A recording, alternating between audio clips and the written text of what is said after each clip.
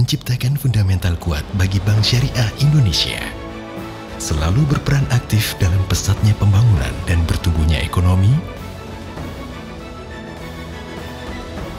dengan berbagai inovasi produk dan layanannya yang ramah. Membangun Indonesia, membangun manusia. Bank Syariah Indonesia. Assalamualaikum warahmatullahi wabarakatuh. Alhamdulillahirabbil alamin. Assalatu wassalamu ala Rasulillah Muhammad ibni Abdullah wa ala alihi wa sahbi ajmain. Sahabat iman yang dirahmati Allah Subhanahu wa taala.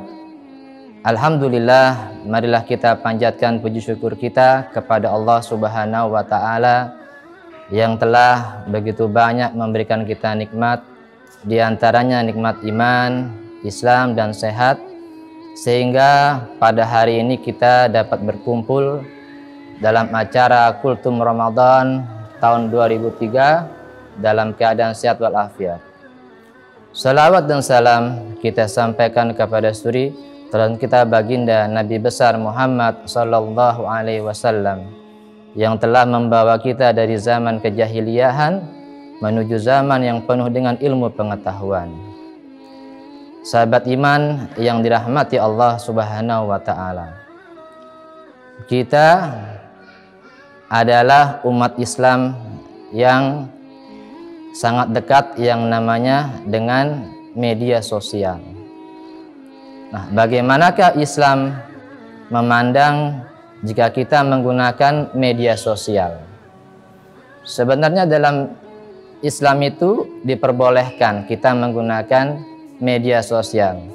Akan tetapi ada adab-adab atau etika saat kita menggunakan media sosial. Apa saja adab-adabnya? Tentunya yang pertama adalah muraqabah. Yaitu kita harus merasa selalu diawasi oleh Allah Subhanahu wa taala.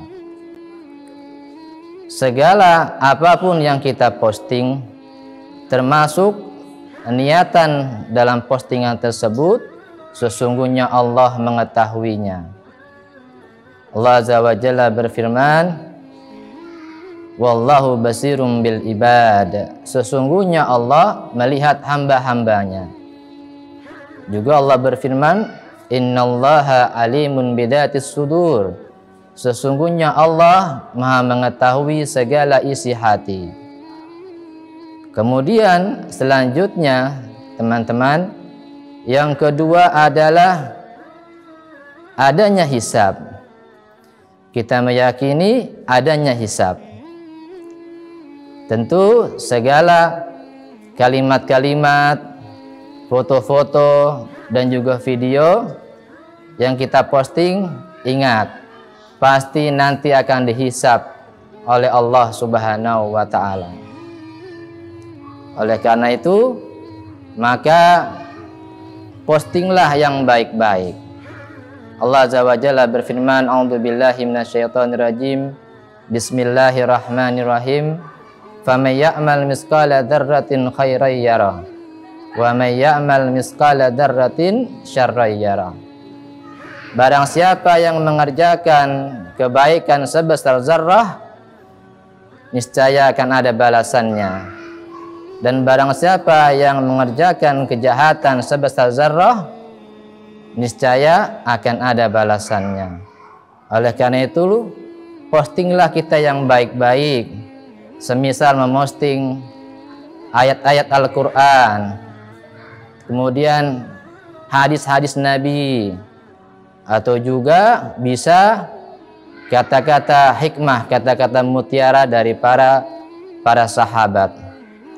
Kemudian sahabat iman yang dirahmati Allah Subhanahu wa taala.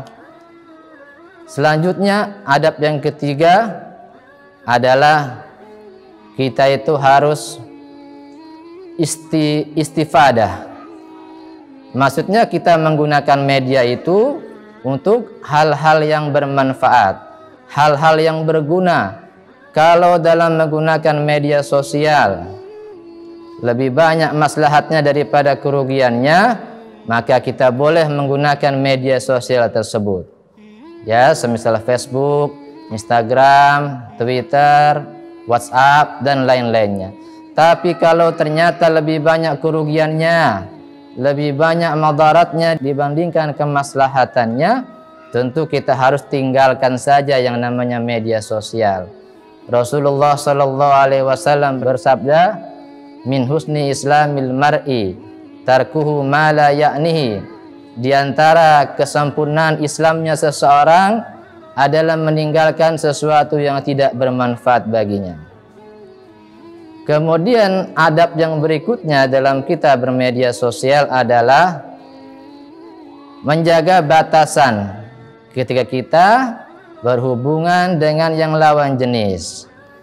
Ya, karena banyak-banyak terjadi penyakit-penyakit hati.